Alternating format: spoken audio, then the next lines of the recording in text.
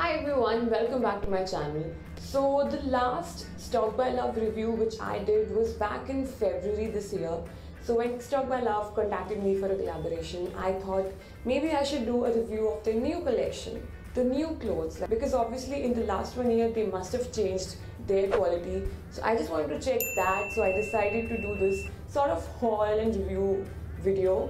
So how this goes is I'm gonna wear one item for one entire day in my office so that I can give a better review like if there's an issue with the material or anything else. And yeah, I have all the clothes here so what are we waiting for? Oh, I know. Make sure you hit that red button, like this video and also comment down your favorite item from this video. And now let's go. So for Monday I decided to wear these olive cargo pants. They are the usual high-waisted pants, very comfortable, very light, very loose, very airy.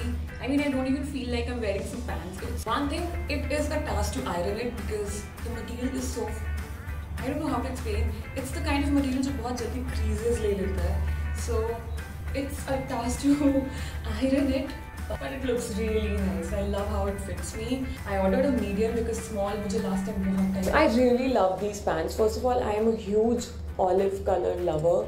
These pants, the material is much better than my last pants. The only issue that I have with these pants is that it gets creased very easily. So yeah, other than that, these pants are a huge thumbs up from me. Like seriously, I love it. They are so comfortable for summers. So for Tuesday, I decided to wear this checkered slit pencil skirt. Now it's been a year I've been working here and I've never worn a skirt in my office. I don't know why. I'm just not a skirts person, but this one is pretty good. I actually like it. This I always had a feeling that checkered skirts would be very formal and you can't experiment with them, but it's not like that. They actually go pretty well with coated shirts and t-shirts. I'm very excited because it's my first time in a skirt in my office. My first day at office in a skirt was amazing. I got so many compliments because usually the formal skirts are very plain. Like usually people go for a very dark color formal skirt, but I went for a plaid one. Yeah. The only issue I had was this was like an A-line skirt. Like it did not hug my body properly, so I got it stitched from the sides just to give a hourglass on the figure.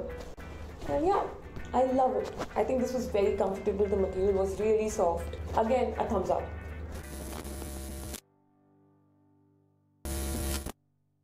So for Wednesday, I'm wearing this white peplum top with this red and black uh, stripe details. My first impression of this top is it's really nice, but it didn't fit me very well. Like this strap was really big, so I had to get it stitched. And I personally love the style. I only I only got it because of the style. This top is something which makes me feel very fancy. Like, yeah, I like it. For this top, I don't know if it's a hit or a miss. I really love the stripes and the plain top and the ruffles at the end, the peplum thing, but the material was not up to the mark, I have to say it.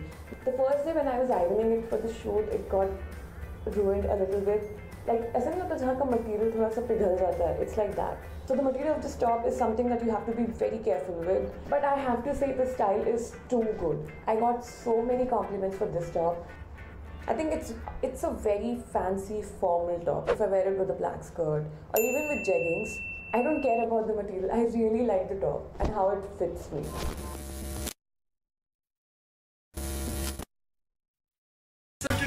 Wearing my most favorite buy from this haul, which is this jacket.